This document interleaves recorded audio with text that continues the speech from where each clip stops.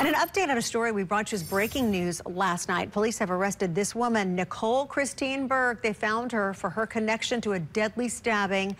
Shelbyville police say she was wanted for the death of Ronald Wade Travis after a stabbing in a parking lot in Madison. She was reported driving away from the scene in this car. Nicole Burke was arrested again this morning in Alabama.